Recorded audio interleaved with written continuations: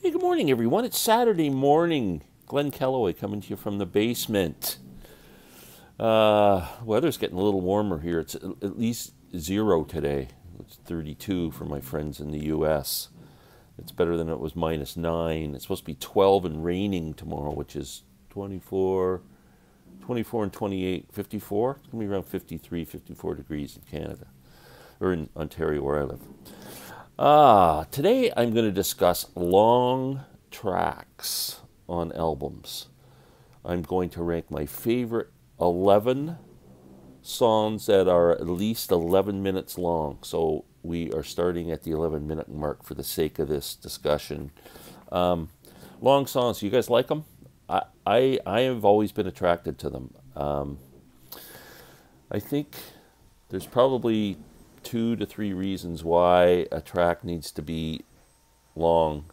First of all, lyrically, it may take that much time to tell the story. Examples like Bob Dylan. Um, or uh, a song is um, virtuosic playing, and it just takes a while for them to tell the story musically and to interact with each other and the music gets more interesting as it goes along.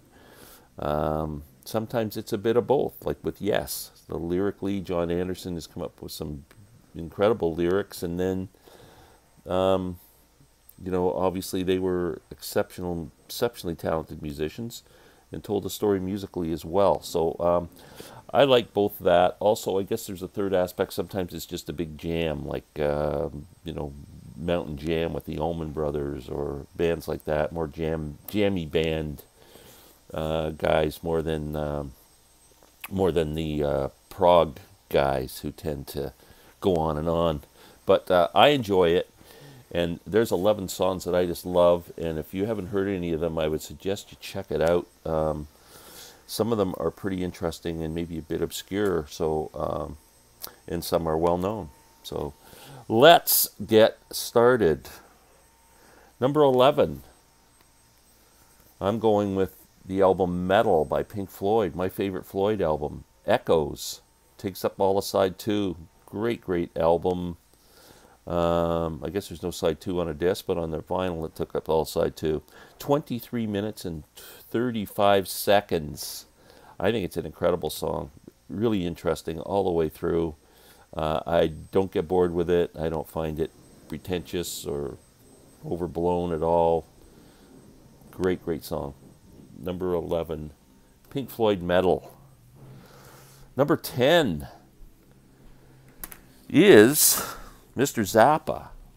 I don't even know how this these these songs like uh, when I say number 10 I'm going geez how could I rank this so low cuz uh, I love all these all these songs so um, the Hot Rat. This is the Hot Rat session, the big box set that kind of breaks down the whole uh, recording of this album. It's an incredible set, but you've got to be a massive Zappa fan to, uh, I think, to like this. But you don't have to be a massive Zappa fan to enjoy Hot Rats, the album. It's a great album. There's a song on there called Gumbo Variations, which is uh, an uh, instrumental track, kind of jammy, uh, but. Um, so cool. Uh, musicianship is outstanding. Uh, the song is 12 minutes and 53 seconds long. A lot of saxophone, guitar, uh, whatever. It, really, just a terrific, terrific instrumental. And uh, Hot Rats is my favorite Zappa album, too. Isn't that interesting? I'm picking songs from my favorite albums so far. Okay, that's number 10. Number 9 is going to be from this debut album, what a mind blowing album this was when it came out. I mean, just so different and fantastic with that eerie organ and uh, Jim Morrison's great lyrics and uh, his voice and the guitar. Everything was just an amazing record. Great debut. The End. What a song. Kind of disturbing, uh, always interesting. Uh, definitely blew my mind when I first heard it. Um, yeah, The Doors, The End is 11 minutes and 44 seconds in length. Okay, number eight. Here's one you might not be aware of. It's a freaking awesome song. It's a it's it's a jam too, but it's great. It's a soul R and B, uh, psychedelic. Sly and the Family Stone from their amazing album Stand. The song Sex Machine. If you haven't heard this song, it's just great playing. I mean, fantastic. Uh, I'm going to take out the gatefold here. Um, I believe it's a gatefold. Yes, there we go. So, Sex Machine. Um, I want to say because the bass is so good in it. I believe it is Larry Graham. Um, fantastic song. It's 13 minutes and 45 seconds long. I thought there was uh, some mention of it or something in here. They said something about it, but um, do, do, do, do, do. no. Anyway, listen to Sex Machine. It's great. If you're a fan of Bela Fleck and the Flecktones, uh, or if you're aware of them, they have a song called "Sex in a Pan," which Victor Wooten, their amazing bass player, wrote, and uh, it was written Sex in a Pan. It was inspired by Sex Machine by Sly and the Family Stone. You will hear the um, similarities if you listen to both tracks. Uh, next, number seven, Mr. Dylan. Like I said, I mean, sometimes Bob just takes time to get the whole thing out of his system, and it's always interesting, even if you don't understand what the hell he's talking about. It's always like cool wordplay.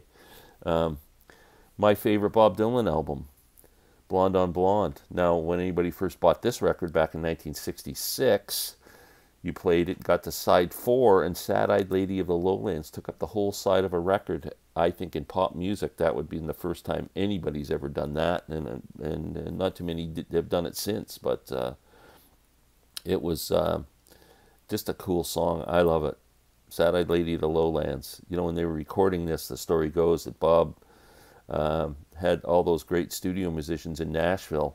Uh, the Nashville Cats were all kind of sitting around playing cards while Bob's going, I'll be with you in a few minutes. And he's kind of finishing off the song and writing lyrics and then coming out. And they, they did it pretty much in one take. Um, Sad Eyed Lady of the Lowlands. Great, great song. Oh, what's next? Number six. Yes. Yes, it's number six. Yes. Tales from Topographic Oceans. The opening track is 20 minutes and 27 seconds of pure genius as far as I'm concerned. The revealing science of God. I just love this track. It's so amazing. Um, this is, you know, when this album came out, uh, a lot of critics panned it, saying it was bloated and, you know, just a bit too much over the top. But uh, it, it, has grown in stature over the years to be a well-respected record, I think, and and uh, certainly one of the top albums in the Yes catalog. Tales of Topographic Oceans, The Revealing Science of God, 20 minutes and 27 seconds. Oh, number five. This is an interesting one. I think this will surprise a few people.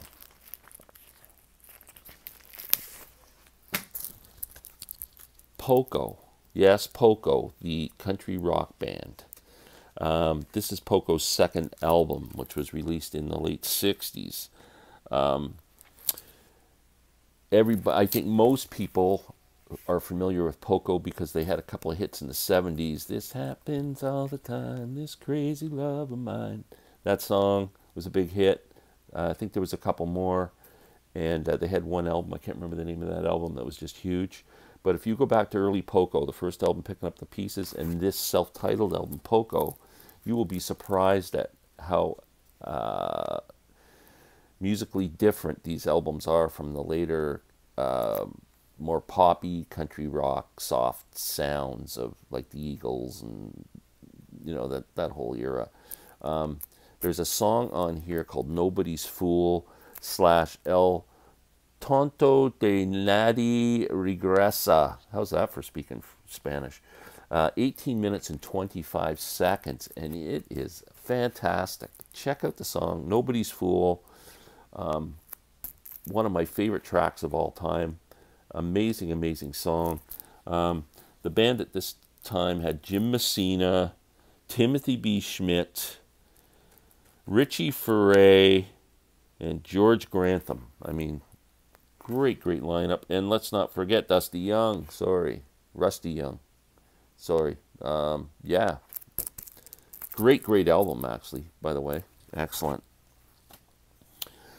Ah, number four, we're going back to Bob. I don't know how this song is only number four. It could be number one. Desolation Row, the last song on Highway 61. 11 minutes and 21 seconds it clocks in at. And one of my favorite Dylan songs, as a matter of fact, my second favorite Dylan song uh, behind Visions of Johanna.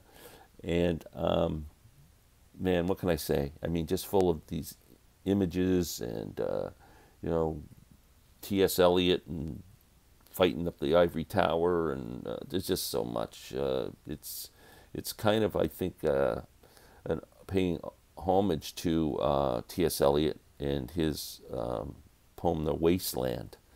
Um, so anyway, um, yeah, I'm sure everyone's heard this. Desolation Row, great harmonica part at the end, just woof, does it for me. Number three, I don't have the album with me because I lent it to my friend Larry Graves for the latest CD exchange and review. It's Uriah Heep's Salisbury, 16 minutes and 20 seconds of incredible music. Uh, just genius. I absolutely love that track. My favorite Uriah Heep song, one of my favorite songs of all time. It is just musically fantastic, lyrically fantastic. David Byron sings incredibly on it. Mick Box's guitar solos in it are just mind blowing. Uh, so much in, in it. Um, just wow. So good. So good. Number two. Close to the Edge. The song Close to the Edge. 18 minutes and 12 seconds. This album is just pure genius from start to finish. Close to the Edge has four parts to it. Um, time of change, total mass retain, I get up, I get down. I just love that part. That is so beautiful. And Seasons of Man, 18 minutes of just pure magic as far as I'm concerned. Close to the edge. And number one, one of my all time favorite bands, King Crimson Red. This is a great King, King, King Crimson album if you've never heard it. John Wetton, Bill Bruford, Robert Fripp. Wow. The song is called Starless. It's the most beautiful song. Uh, Starless and Bible Black is the in, is the uh, lyric in the um, in the song and uh, in the chorus, and it is just gorgeous, a gorgeous track. And uh, I love the um, thought and the image of describing darkness as Bible black. I think it's very cool.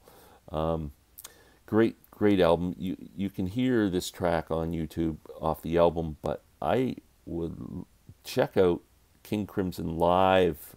Do a Google search or a YouTube search, King Crimson live Starless, and hear Jakko Jakszyk sing it, sing it with the current lineup of King Crimson. It sounds incredible. What a beautiful, beautiful, beautiful song. It's my number one. Um, yeah, so that's cool.